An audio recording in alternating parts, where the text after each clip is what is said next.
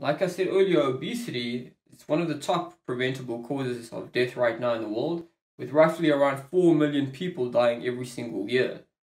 And according to this study, which was again produced by the World Health Organization, the number one reason, one of the number one reasons behind the obesity epidemic is actually because governments have deregulated the market. Deregulation means that you are basically giving the fox access to the henhouse. So when you regulate something, that means that you set up rules.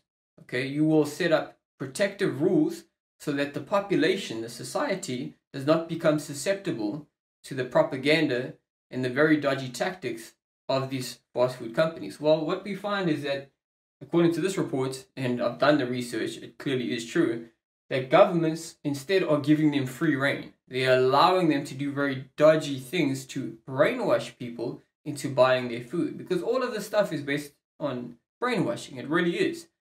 It's uh, it's something we need to be made aware of. I go into meticulous detail in the book, and I'm slightly going into a yeah. But it's very important that we learn how to defend ourselves from these guys, uh, because they they just don't have our best interest in mind. And a lot of us think that we are living based on free will, but we actually are operating on unconscious emotions.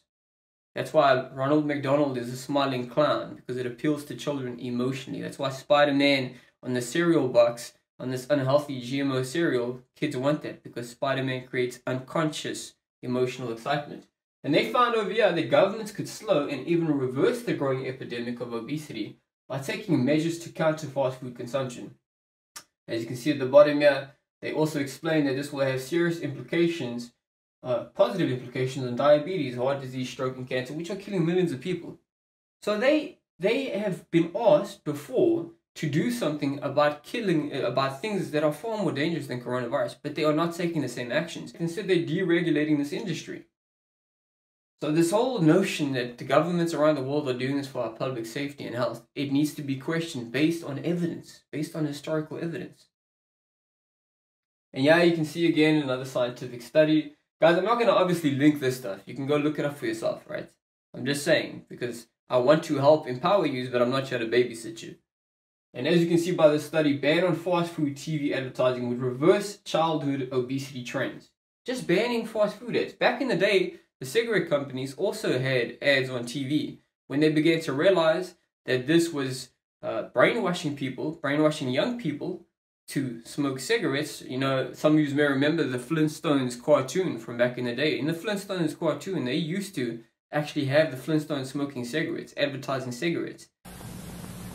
The Flintstones has been brought to you by Winston, America's best-selling, best-tasting filter cigarette. It tastes good like a cigarette should. And that's a subtle way to actually get towards the children.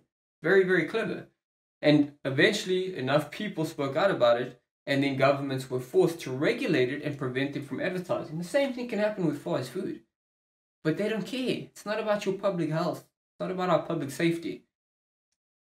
And yeah, there's another study processed food, and this was recently, January 6th of this year. Processed foods are highly correlated with obesity epidemic in the US. And yet, yeah, also the World Health Organization says processed meat causes cancer. And yeah, what, what happens, right? I don't know about where you guys are, but yeah, in South Africa, throughout this whole lockdown process, McDonald's and KFC have been open. Think about the logic behind that. You have these organizations, fast food companies, that are clearly linked to the obesity epidemic, and yet they are allowed to sell their junk food, their poison, while everything else gets locked down, while people are on unemployment. I mean, it's it's just it's illogical, guys. It's antithetical to to the appropriate course of action for people's public health. And then, of course, you also go to the shop and all these people wearing masks and they're scared shitless. But if you look in their all the stuff that they're buying, all the processed food and shit, they're killing themselves without even knowing it because we are being led astray. Right? That the problem that we are faced with, it's not a pandemic or an epidemic of a virus. It's a pandemic and an epidemic of ignorance. And even deeper than that, it's a pandemic and an epidemic of deception.